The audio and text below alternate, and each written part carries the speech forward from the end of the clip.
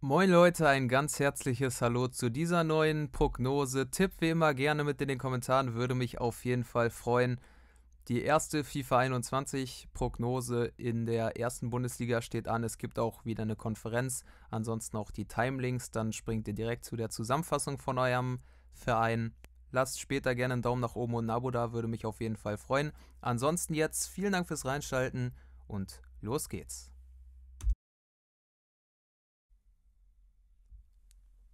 Und damit ein ganz herzliches Hallo zum vierten Spieltag der Fußball-Bundesliga. Die Samstagskonferenz steht an. Wir haben fünf Spiele dabei. Unter anderem dieses hier. TSG 1899 Hoffenheim gegen den BVB. Beide mit sechs Punkten aus zwei Spielen gestartet. Durchaus zufriedenstellend, aber vor allem für den BVB hat man sich vielleicht doch etwas mehr erhofft. Deswegen sollen heute die nächsten drei Punkte her hier in Sinsheim. Wird aber nicht einfach gegen die Elf von Sebastian Hoeneß. Wir schauen nach Mainz.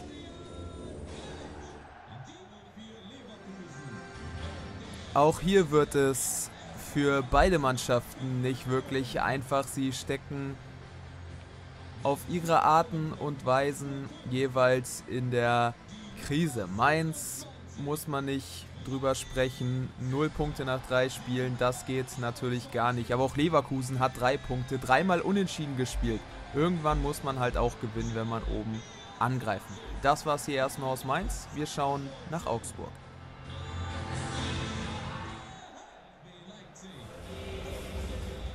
In der Fuggerstadt ist RB Leipzig zu Gast, der Tabellenführer momentan. Sieben Punkte nach drei Spielen, damit kann man durchaus leben, zumal da auch Leverkusen dabei war. Für den FC Augsburg als Überraschungsmannschaft ist es aber auch eine durchaus positive Herausforderung. Sie haben auch sieben Punkte. Mit einem Sieg würde man an Leipzig vorbeiziehen und damit möglicherweise auch Tabellenführer werden. Das war's von hier. Wir schauen in die Hauptstadt.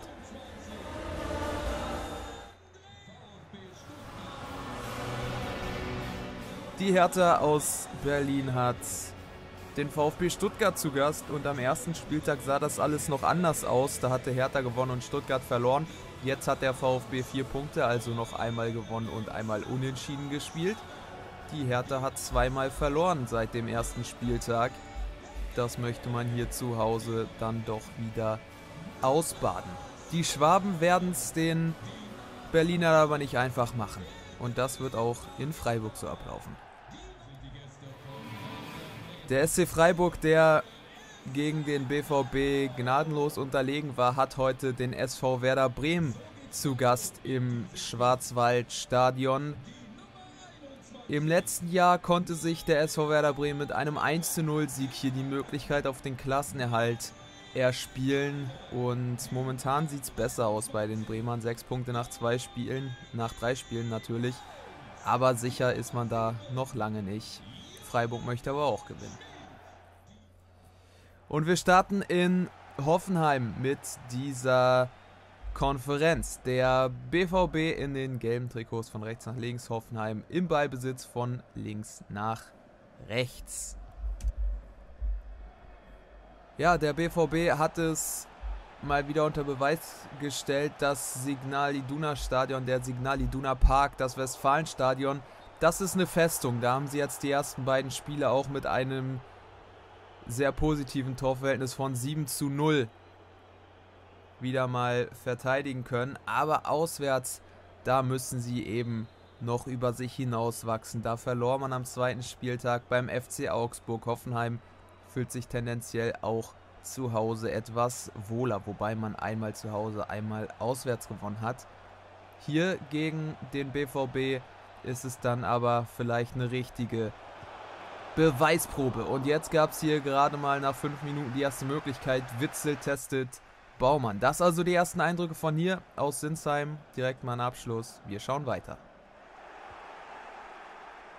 Springen in die Opel Arena zum ersten FSV Mainz 05. Mainz in Rot.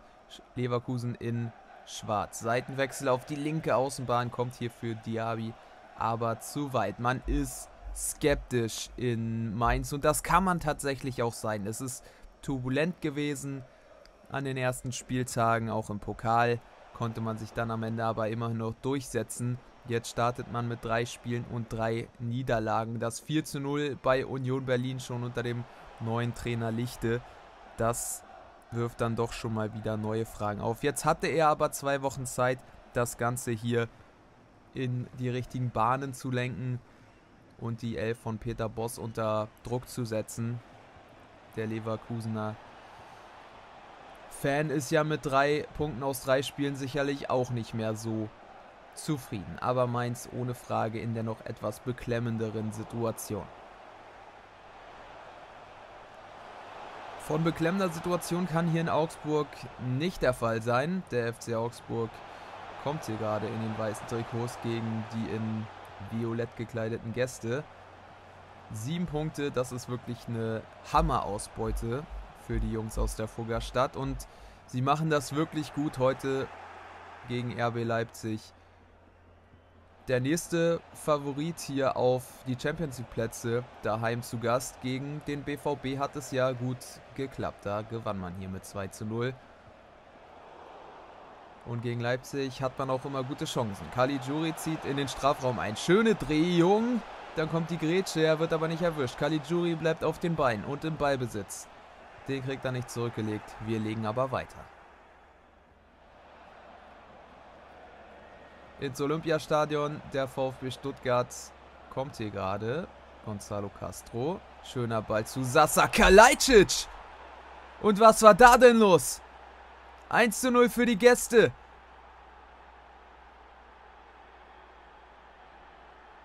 Sasa Kalajdzic. Reingeschickt von Castro, aber das darf da in der Mitte nicht passieren. Boyata lässt sich da abschütteln, versucht da rein zu grätschen, klappt aber überhaupt nicht. Und Alexander Schwolo ist überwunden.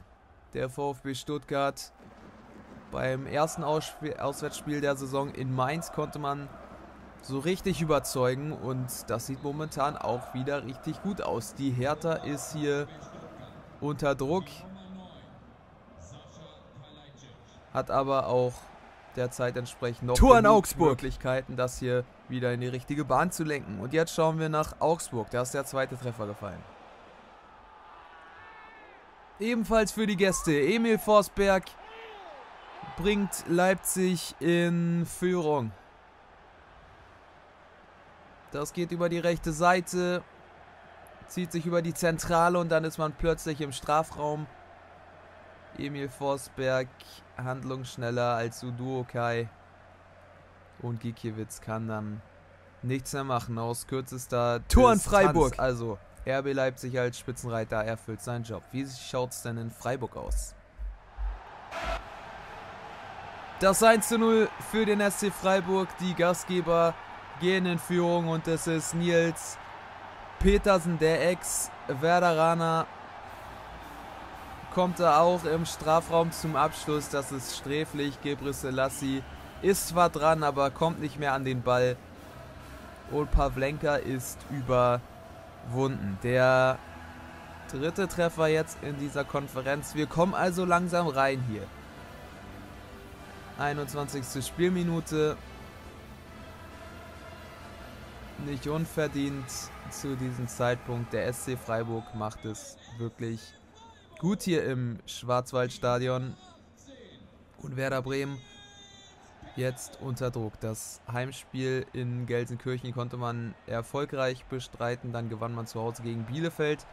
Heute gegen den SC Freiburg, aber eine Mannschaft, die noch etwas mehr dagegen hält, wie es scheint.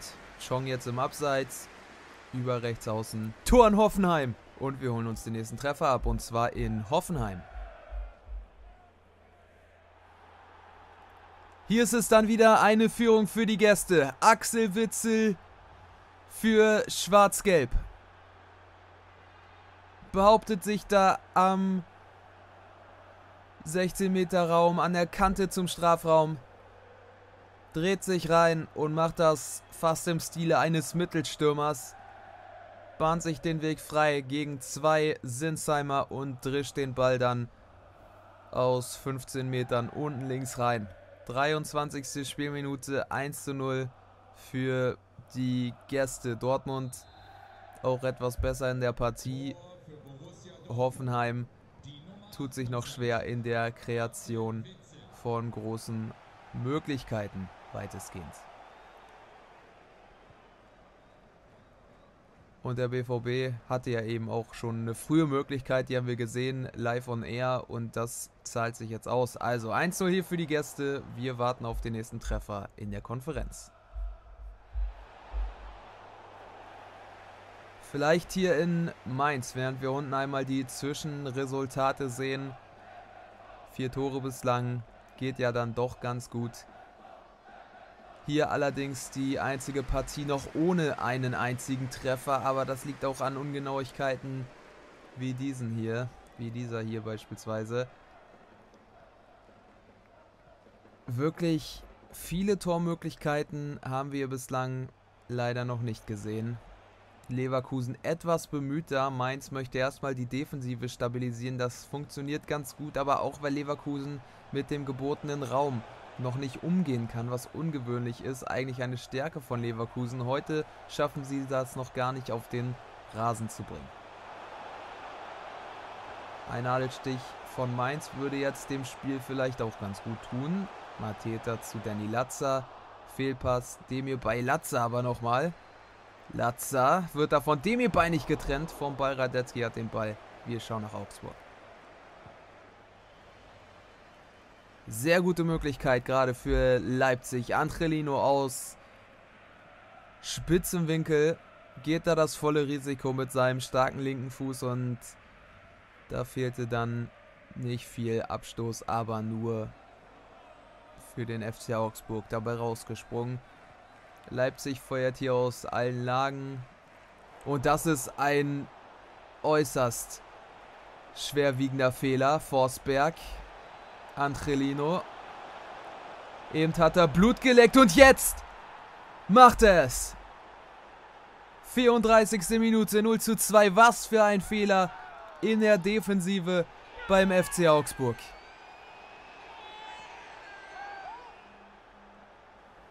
Da lauern sie drauf. Und werden belohnt.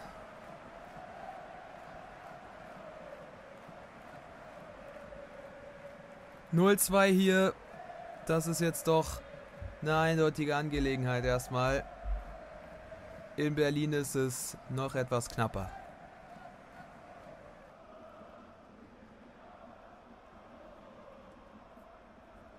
Das ist es 0 zu 1 hier nach wie vor. Der Treffer von Kalajdzic hat für die Führung gesorgt beim VfB Stuttgart.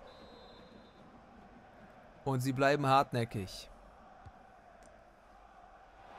Eckball eigentlich nicht schlecht auf den 16er, aber Luke Bacchio steht da einzig und allein. Mittelstädt dann über die linke Seite sollte sich da nicht unbedingt in Bedrängnis bringen. Wieder spielerisch lösen. Boyata bringt sich da in Bedrängnis, haben wir eben auch schon in Augsburg gesehen. Da ist das nicht gut gegangen. Jetzt hier gerade können sie sich damit etwas Fortune auch lösen. Und es geht in die andere Richtung. Cordoba raus zu Zerfuig. Pekarik. Die beiden beackern hier heute die rechte Außenbahn. Guter Laufweg von Kunja jetzt. Der Pass zu Toussaint. Und Ausgleich. Das ist der etwas schmeichelhafte Treffer für die Hertha aus Berlin. Der VfB Stuttgart eben noch vorne mit einer Ecke. Dann geht es in die andere Richtung. Es war jetzt kein D-Zug, der da lief aufs Tor von Gregor Kobel. Aber der VfB Stuttgart hatte keinen Zugriff. Da lohnt sich das Risiko hinten rauszuspielen von Bildstedt und Boyata. 1-1 hier in Freiburg steht es noch 1 0 für die Gastgeber. Das fünf Minuten vor der Pause. Das Resultat. Nils Petersen sieht schon wieder und will schon wieder siegen. Roland Salai. Schöner Pass zu Jonathan Schmid. Quergelegt. Den muss er selber machen. Den muss er doch selber machen. Das Friedel in der Mitte passt gut auf, klärt das dann. Aber den muss Jonathan Schmid selber machen. mit seiner Abschlussqualität spricht natürlich dafür, in was für einem Kollektiv hier gearbeitet wird beim SC Freiburg. Das ist in jedem Bundesliga-Verein so, aber in Freiburg möglicherweise noch ein Stückchen mehr. Trotzdem, den muss er sich eigentlich Tor in Hoffenheim selber nehmen. In Hoffenheim hat sich jetzt einer wieder ein selbst genommen. Und es war Jude Bellingham. Und wie er sich den genommen hat, das müssen wir uns unbedingt noch einmal anschauen. 0 zu 2 hier.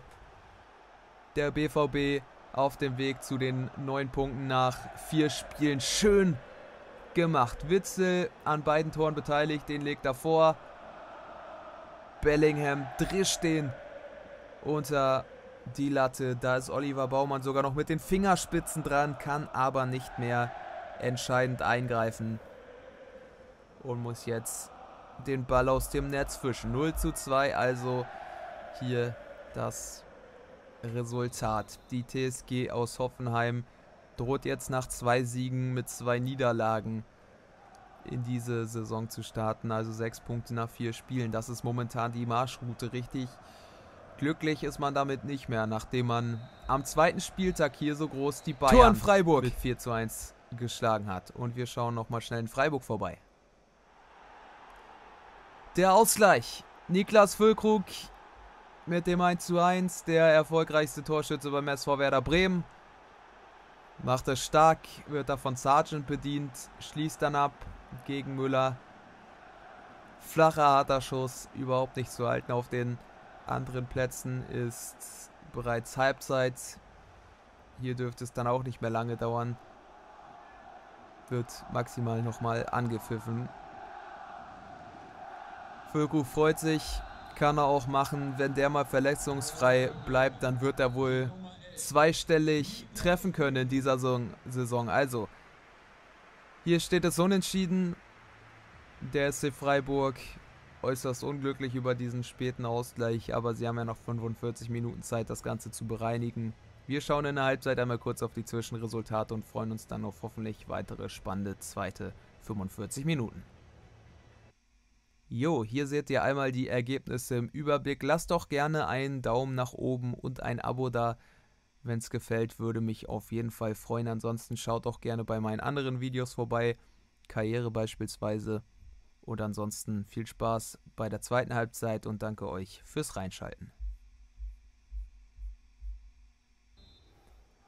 Zurück in der Konferenz. Wir starten bei dem einzigen torlosen Spiel und zwar der erste FSV Mainz 05 gegen Bayer 04 Leverkusen. Soll das hier tatsächlich für Leverkusen das vierte Remis im vierten Spiel werden? Für Mainz wäre es der erste Punkt, vielleicht ein Teilerfolg, aber eigentlich muss man jetzt erstmal gewinnen. Da hilft dann ein 0 zu 0 gegen Leverkusen daheim auch nicht wirklich viel. Es war nicht so groß der Druck drauf in diesem Duell im ersten Abschnitt Leverkusen bemühter, Mainz aber nicht unbedingt ungefährlicher. Bedeutet aber auch, dass Leverkusen an sich selbst wenig gefährlich war. Vielleicht kommt es ja jetzt etwas besser. Schalzer Rangis wird, aber da kommen sie einfach nicht durch. Und dann scheuen sie sich die Flanke zu schlagen. Das ist alles, ja, bis dahin gut gespielt und dann der Ball verloren. Wir geben ab. Hier haben wir immerhin schon zwei Treffer gesehen, allerdings ungleich verteilt.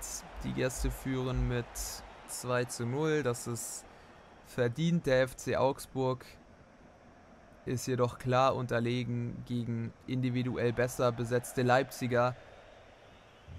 Die Idee hier jetzt nach vorne zu spielen nicht so schlecht, aber zu ungenau. Jetzt gibt es einen Wechsel. Strobel kommt für Goezo beim FC Augsburg. Sorgt in der Defensive vielleicht nochmal für etwas mehr Ordnung und mehr Stabilität. Aber die Akzente, die wichtigen Akzente müssen jetzt nach vorne gesetzt werden. Und die kommen momentan eher von Leipzig. Dani Olmo. Ja, Kevin Kampel dreht sich da schön. Fantastischer Pass.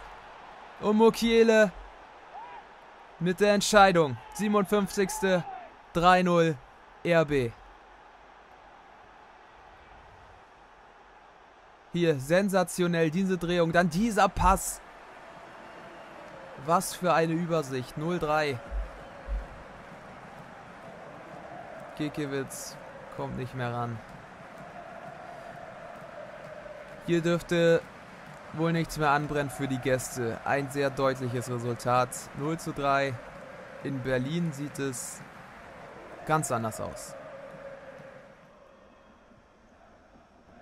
Hier steht nach wie vor ein 1 zu 1. Die Hertha konnte ausgleichen. Den Treffer von Kalajdzic. Boah. Auch das hier spielerisch wieder ja, mit Risiko. Kobel in den Kopf, auf den Kopf von Darida. Cordoba, schnell umgeschaltet. Zifuik. Das gibt's ja nicht. 2 zu 1 für die Hertha.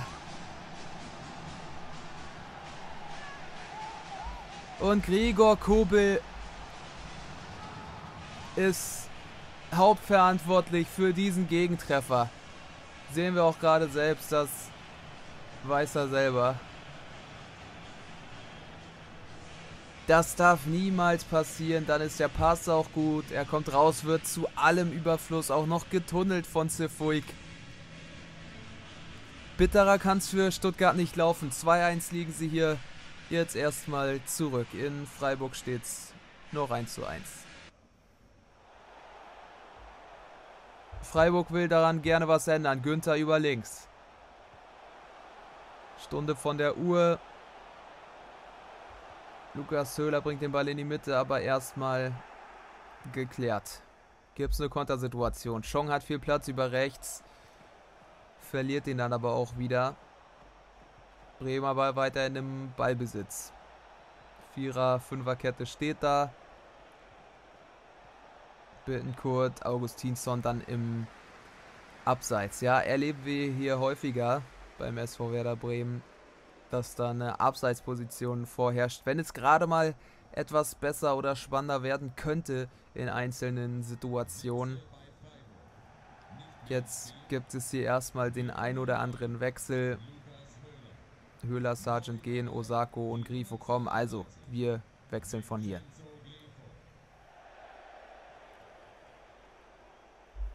Nach Hoffenheim, schauen einmal auf die Zwischenresultate nach 63 Spielminuten. Ein Spiel, das gibt's noch ohne einen Treffer. Nach wie vor der erste FSV Mainz 05 und Leverkusen haben sich nicht dazu rumreden können, einen Treffer zu erzielen. Vielleicht gelingt das ja in der Schlusshalben Stunde. Hier steht es 0 zu 2. Es ist doch eine relativ deutliche Angelegenheit. Dortmund macht das überragend gut, liegt hier in der Höhe auch verdient mit 2 zu 0 in Führung. Und Hoffenheim hat Probleme dabei, hier nochmal zurück ins Spiel zu finden. Aber ein schneller Anschlusstreffer könnte nochmal für Spannung sorgen. Florian Grillitsch. Zu viel Platz für Klaus. Grillitsch. Wo ist die Anspielposition? Grillitsch verliert den Ball. Das geht dann doch zu einfach. Der BVB wieder in der Gegend. Tor an Freiburg. Und schnell nach Freiburg. Der Joker sticht. Der SC Freiburg geht durch Vincenzo Grifo zum zweiten Mal in Führung an diesem Samstagnachmittag. Wird auf links vergessen. Da wird da Gebre Selassie, glaube ich, geblockt. Ne, im Bomb ist es.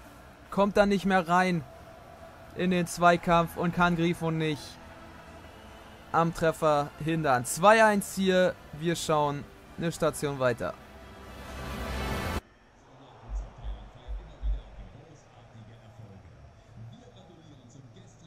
Der erste FSV Mainz 05 will hier jetzt doch den ersten Sieg. Es gab schon die ein oder andere Möglichkeit jetzt. Leverkusen mit diesem 0 zu 0 tatsächlich gut bedient. Das ist kein gutes Bundesligaspiel, alles in allem. Mateta, Mateta! Na, immerhin mal das. 70. Minute. Den verreißt er dann aber doch in der Wiederholung gesehen recht deutlich. So sieht es hier momentan weitestgehend aus. Noch 20 Minuten auf der Uhr. Das hier wird auf jeden Fall, ehrlich gesagt, kein mitreißendes Spiel mehr. Wir geben lieber nochmal schnell ab nach Augsburg. Das hier war lange Zeit ein mitreißendes Spiel. Es ist immer noch in Teilen mitreißend. Es ist nur einzig und allein nicht mehr spannend. Hier steht es 0 zu 3. Dementsprechend sind wir hier nochmal kurz vor der Schlussphase, werden vermutlich den Fokus nicht mehr hier drauf richten, denn hier ist alles gegessen. Augsburg muss verhindern, hier jetzt komplett unter die Räder zu kommen. Das 4 zu 0 wäre schon möglich gewesen. Wir haben es gerade gesehen. Und RB Leipzig kommt schon wieder. Die haben noch Hunger jetzt, bevor es dann in der nächsten Woche in die Champions League geht. Nori Mukiele über die rechte Seite. Sein Treffer hat er ja erzielt.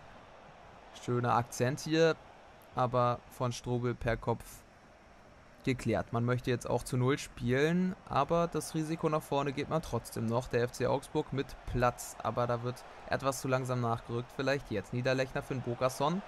Ball links raus, schön gespielt. Caligiuri die Flanke, aber abgewehrt. 0-3 hier, 2-1 in Berlin. Viertelstunde noch auf der Uhr. Die Hertha ist gefährlicher momentan, der VfB Stuttgart, aber aufgrund des Ergebnisses eben auch immer noch nicht abzuschreiben. Massimo. In der Mitte wäre eigentlich Platz. Den Ball hätte er viel früher suchen müssen, der jetzt erst kommt. Mangala Castro. Massimo ist frei. Flanke gespielt. In der Mitte lag gerade einer. Da wird sich dann auch beschwert, aber momentan kein Grund, da scheinbar einzugreifen. Mangala, die Davi. Und jetzt die Hertha. Cordoba. Mit Mittelstädt dabei. Santiago Ascasiba. Zieht in den Strafraum ein. Und provoziert einen Strafstoß. Karasor mit dem Foulspiel im 16er an der Kante ist ja immer unnötig. Ja, der Kontakt ist da. Gibt da so einen verkappten Pferdekuss ab.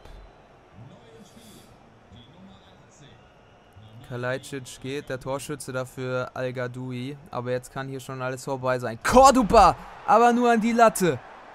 Cordoba nur an die Latte. Szene aber noch heiß. Pekarik, Darida. Nein, der VfB Stuttgart bleibt im Spiel, weil Cordoba einen Ball an die Latte setzt und Darida vorbeischießt. So, 2-1 nur noch hier oder weiterhin hier. Und in Hoffenheim wird es da nochmal spannend.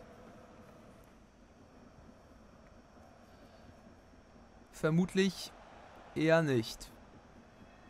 Denn der BVB schafft es wirklich, Torchancen der Sinsheimer nahezu gänzlich zu verhindern. Stattdessen hatte man eben einen überragenden Freistoß, den Hummels aus rund 25 Metern an die Latte gesetzt hat. Toller Freistoß. Verpasste das 0 zu 3. Felix Passlack reingekommen, haben wir noch gesehen im Anschnitt. Flanke zu Dahuti ist ja optimal, das gibt es nicht. Wie schön ist das gemacht. 0 zu 3. Mo Dahut, das wird ihm gut tun.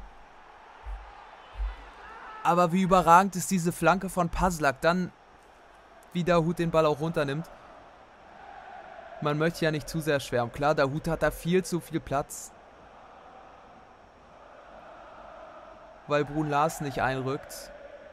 Toll runtergenommen. Schnell abgeschlossen. Vorbei an Baumann 0 zu 3. Richtig gut gemacht. Also, ja, hier ist alles klar. Wir möchten lieber dahin schauen, wo die Ergebnisse noch nicht so klar entschieden sind.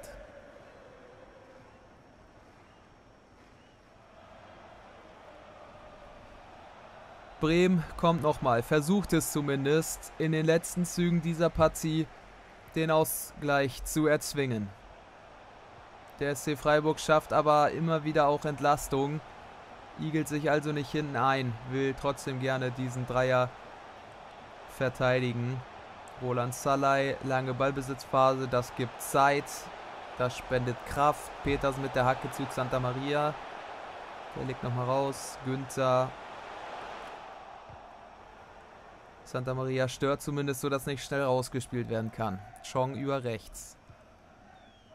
Osako, viel Platz über die rechte Seite. Zwei Minuten gibt es obendrauf, aber die Nachspielzeit eben auch doch arg begrenzt. Jetzt muss es kommen. Davy Selke. Fehlpass. Das war's dann wohl. Schlampig umgegangen mit dieser Möglichkeit. Selke spielt Lienhardt einfach nur in den Fuß. Es endet hier mit 2 zu 1. Es läuft aber noch auf einem Parallelplatz.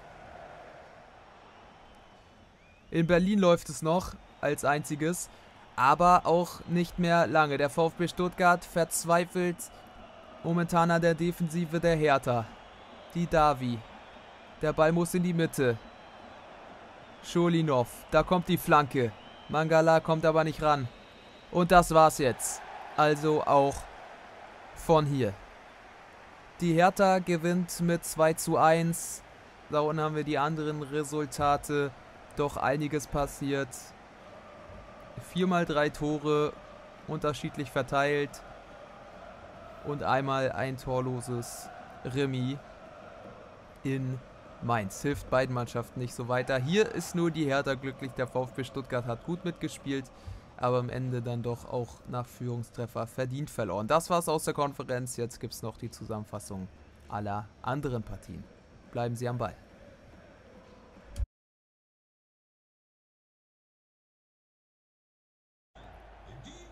Nach sechs Punkten in drei Spielen deutete sich hier für beide Mannschaften erstmal ein ausgeglichenes Spiel an. Der BVB aber wollte das Ganze hier dominieren und machte das auch so. Schlugen sie in der 23. Minute zu in Person von Axel Witzel, der sich da gegen zwei Abwehrspieler behaupten kann und dann auch mit einem wuchtigen Schuss an Baumann vorbeikommt. Und es war vor der Pause klar in der Hand des BVB, was hier geschehen sollte. Axel Witzel legt rüber zu Jude Bellingham. Und das ist ein fantastisches Tor für den jungen Neuzugang. Baumann zwar mit den Fingerspitzen dran, aber ohne große Möglichkeiten. Zweiter Durchgang, weiterhin in der Hand des BVB.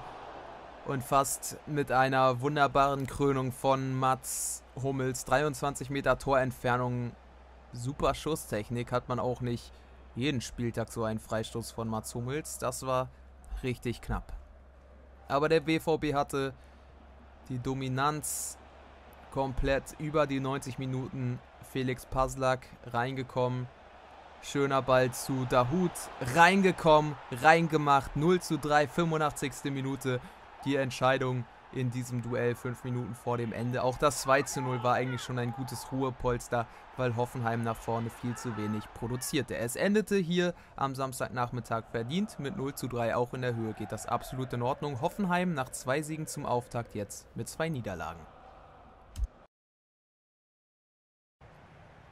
Der SC Freiburg hat den SV Werder Bremen zu Gast am Samstagnachmittag und die Breisgauer wollten den Fauxpas der Vorsaison beim 0 zu 1 wieder gut machen und es sah auch nicht schlecht aus, was sie hier machten. Manuel Gulde sehr offensiv dabei, Petersen in die Lücke geschickt. Der steht nicht im Abseits und macht gegen seinen Ex-Club das 1 zu 0. In der 21. Spielminute löst sich genau im richtigen Moment. Gebre Selassie ist dran, aber nicht mehr entscheidend. Vor der Pause dann aber die Elf von Florian Kofeld. Eggestein, Santa Maria vor die Füße von Sargent. Der liegt handlungsschnell rüber zu Niklas Füllkrug. Und in der zweiten Minute der Nachspielzeit erzielt er dann den Ausgleich. Die zweite Halbzeit dann wieder etwas pro Freiburg. Santa Maria immer wieder im Mittelpunkt. Höfler zum eingewechselten Grifo. Und der macht den 2 zu 1 Führungstreffer. Die zweite Führung für den SCF. Stark gemacht. Keine Chance hier für Pavlenka, der dahinter sich greifen muss. Auch zum Ende hin kam vom SV Werder Bremen nach vorne zu wenig. Der SC Freiburg hier mit Petersen die Chance auf dem Fuß, das alles noch früher klar zu machen in der 80. Pavlenka hatte etwas dagegen, sollte aber nichts mehr machen. Der SC Freiburg bringt das hier verdientermaßen mit 2 zu 1 über die Ziellinie.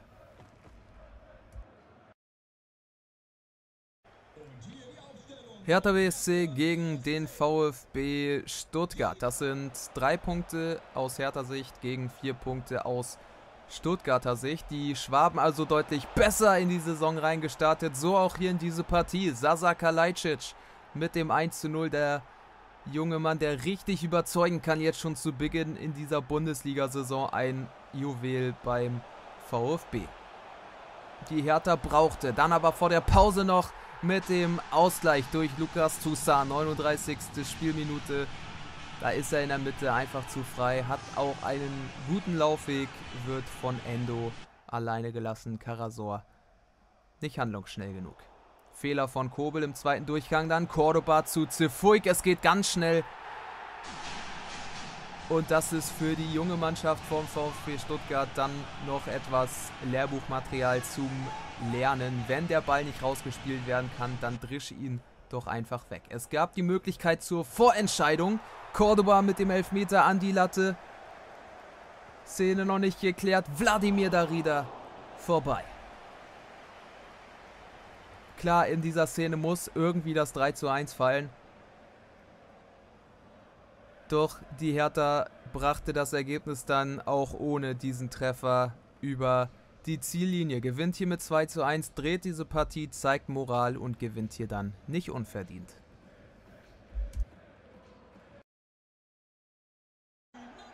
Turbulente und eher unzufriedene Zeiten hat man auf beiden Seiten dieses Duells Mainz gegen Leverkusen.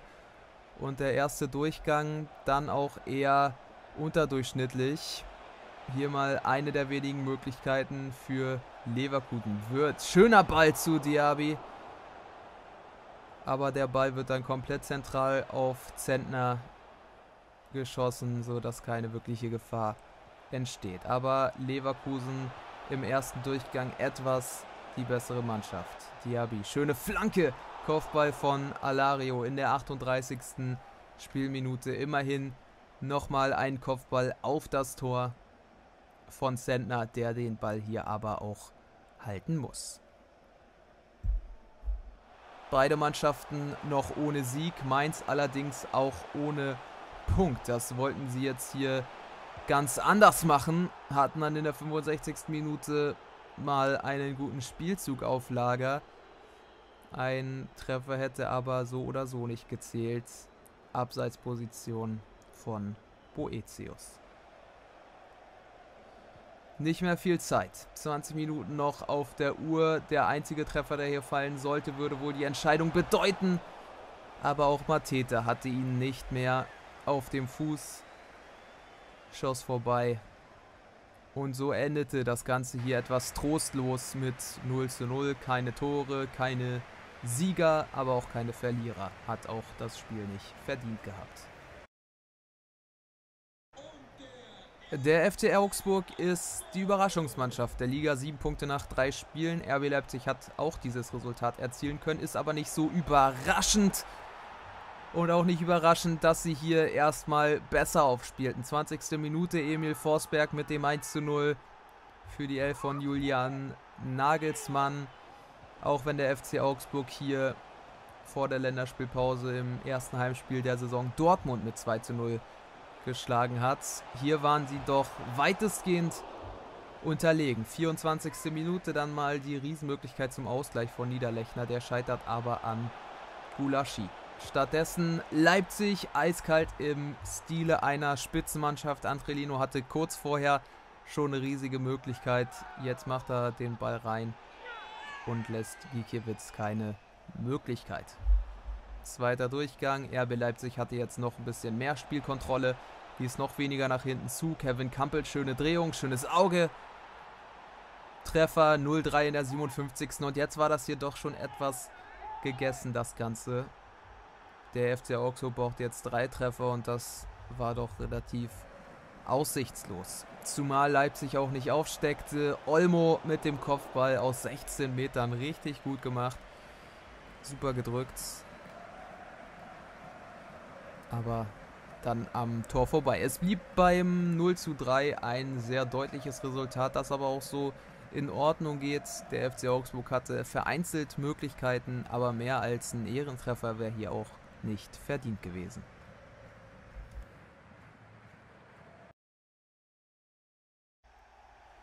Donnerstag Pokal, Samstagabend gibt es dann Bundesliga und nächste Woche dann wieder Champions League. Der FC Bayern hat ein heftiges Programm und das sieht man wirklich mittlerweile auf diesem Fußballplatz. Halbe Stunde hier schon gespielt. Arminia Bielefeld machte den Bayern das Leben so richtig schwer.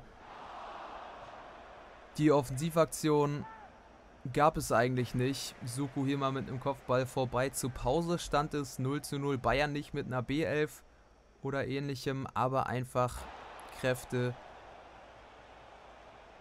die fehlten. Zweite Halbzeit wurde jetzt besser. Goretzka.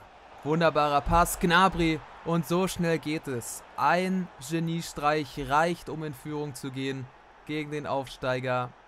51. Spielminute Ortega geschlagen. Der FC Bayern machte wirklich nur das Allernötigste und das sah man in dieser Partie. Ist ja auch irgendwo verständlich bei diesem Kalender. Bielefeld aber witterte die Möglichkeit. Pritel, schöner Ball zu Cordova. Sergio Cordova. Riesenchance. Und auch das hat der FC Bayern immer wieder drin. Diese Fahrlässigkeit nach hinten.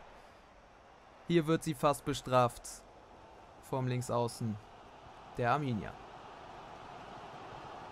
Und wieder Bielefeld. Hier hatten sie wirklich Morgenluft gewittert. Fabian Klos. Fabian Klos. Natürlich er. 69. Minute. Das 1 zu 1 für Bielefeld gegen die Bayern. Und es war verdient. Die erste Hälfte ja schon tendenziell eher pro Bielefeld. Und im zweiten Durchgang nach dem Rückstand fanden sie richtig gut jetzt rein und hatten auch die Tormöglichkeiten. Und sie hatten jetzt richtig Blut geleckt. Pritel, Klos, Duan legt nochmal rüber. Wunderbar! Aber Bayern hat auch immer noch Manuel Neuer zwischen den Pfosten. Das darf man einfach nicht vergessen. Der einen hin und wieder mal rettet. Hier bekommt er den Ball an die Seite. Also auch etwas Glück. Aber das ist das Glück des Tüchtigen. Schlussphase. Cedric Brunner. Fehler von Hernandez unter Druck gesetzt. Dann geht's ganz schnell. Es geht viel zu schnell. Und das ist richtig bitter. 90. Minute. Brunner mit dem Fehler. Davis leitet schnell weiter. Lewandowski legt auch nochmal quer. Da ist Serge Gnabry völlig frei am zweiten Pfosten. Das ist das Spiel von Arminia Bielefeld. Spielerisch hinten raus kombinieren, aber in der 90. Minute gegen den FC Bayern ist das halt tödlich. 2 zu 1 gewinnt der FC Bayern München und wie sie das mal wieder gemacht haben, wissen sie wahrscheinlich selbst nicht.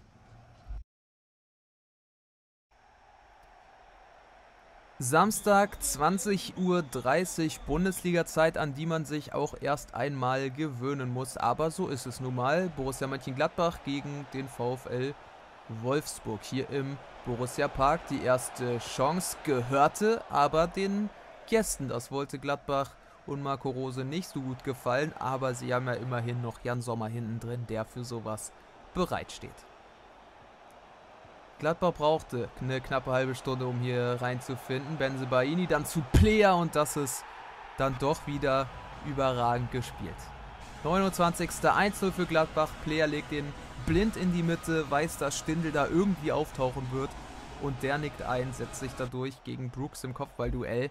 Nicht unbedingt ein positives Zeichen für Brooks. Vor der Pause aber die Möglichkeit zum Ausgleich. Schlager zu Wechhorst trifft aber nur das Aluminium, war kein Abseits. Wird auf der linken Außenbahn aufgehoben von Benzebaini.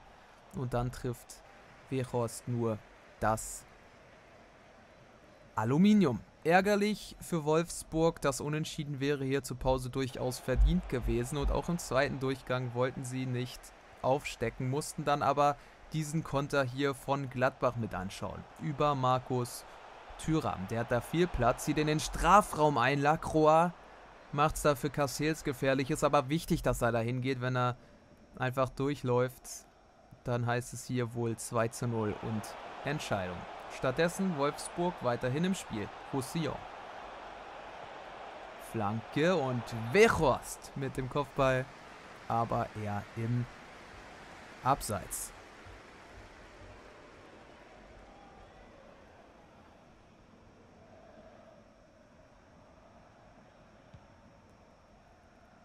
Und der Abschlag hier von Jan Sommer, er geht in einen Konter über. Markus Thüram. Neuhaus Thüram. Kuhn Castells nochmal mit der Parade in der 85. Minute. Pariert den Ball, fischt den da raus. Verhindert die vorzeitige Entscheidung, aber es änderte nichts mehr am Resultat. Wolfsburg verliert hier in Gladbach, ist zwar auf Augenhöhe, aber versäumt eben den Treffer zu erzielen. Also 1-0 hier für die Fohlenelf. Der erste FC Köln ist wirklich albtraumhaft in diese Saison gestartet und von der anderen Seite grüßt Eintracht Frankfurt. Da ist man doch den Erwartungen vielleicht sogar etwas übermäßig gerecht geworden. Und das zeigten sie auch hier mit einer breiten Brust von Beginn an. Vierte Spielminute, André Silva mit dem 1 zu 0. Wunderbare Drehung da herum um Sörensen. Dann ein ansatzloser Abschluss, nicht zu halten für Timo Horn. Der Ball schlägt perfekt ein. Köln aber hatte jetzt nicht wirklich Angst, zitterte nicht, hatte eine gute Reaktion auf Lager. Fast das 1 zu 1 durch Anderson. Schön von Rex Bescheid vorgelegt, aber überragende Parade von Kevin Trapp, der da schnell auf dem Boden ist. Frankfurt war aber schon die bessere Mannschaft. Bas zu Zuba, nochmal zu Silva gelegt. André Silva momentan wirklich in bestechender Form. Langte aber bis dato erstmal nur zu einem Treffer, der ja eben schon nach vier Minuten viel. Aber Köln zeigte eben auch, dass es nicht so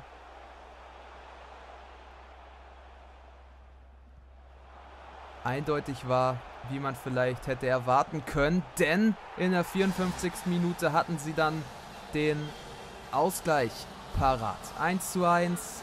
Dominik Drexler vorbei an Kevin Trapp.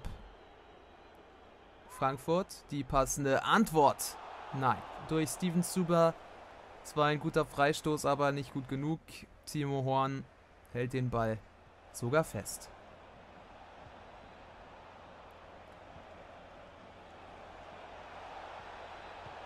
Jetzt aber dann doch das 2 zu 1. 73. Minute, Frankfurt kombinierte sich da gut durch. Das ging etwas zu schnell. Kamada mit einem Hackenpass perfekt zu André Silva. 2-1 für die Gäste. Jetzt hatte Köln aber auch nichts mehr dagegen zu setzen. Rode, Steven super mit dem 3 zu 1 in der 81. Minute. Entscheidet hier diese Partie für die Gäste. Der erste FC Köln also nach wie vor in äußerst misslicher Lage. Und Frankfurt, die spielen jetzt erstmal ganz oben mit.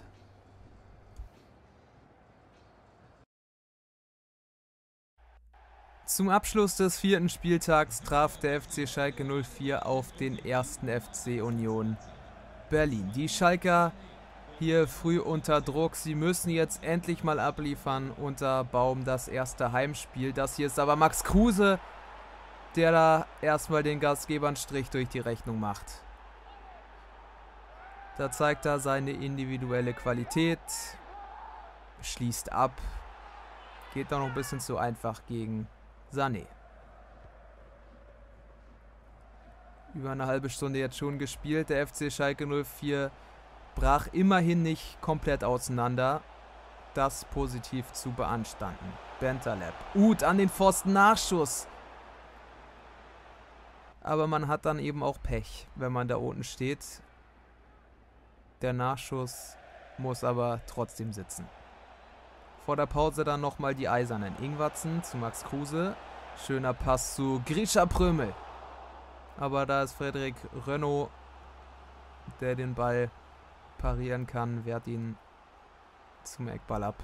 Aus dem resultierte dann nichts. Es ging also mit diesem 0 zu 1 in die Pause. Das war doch schon ein erheblicher Nackenschlag für den FC Schalke 04, die sich aber zumindest bis dato noch nicht aufgegeben hatten und weiter dran glaubten, hier zumindest den ersten Punkt der Saison zu holen. Zehn Minuten gespielt im zweiten Durchgang. Benzaleb zu Paciencia. Karius mit der Parade. Nachschuss. Nachschuss. Das muss es dann doch sein. Einmal das hier gut gespielt. Und dieser Ball. Der muss einfach sitzen. Wir springen schon in die Schlussphase. Flanke. Verzweiflungstat. Aber es wird trotzdem gefährlich. 85. Paciencia. Der aber auch wieder im Abseits steht. Alles doch sehr unglücklich hier beim FC Schalke 04. Vielleicht der Lucky Punch. Sowas kann dann auch nochmal Kräfte für die nächsten Wochen mobilisieren. Marc Uth zu Paciencia. Der Pass aber zu ungenau in die Arme von Karius. Und das war's dann. Schalke verliert mit 0 zu 1 gegen den ersten FC Union Berlin. Die Gäste starten richtig stark in diese Saison und Schalke hat immer noch 0 Punkte.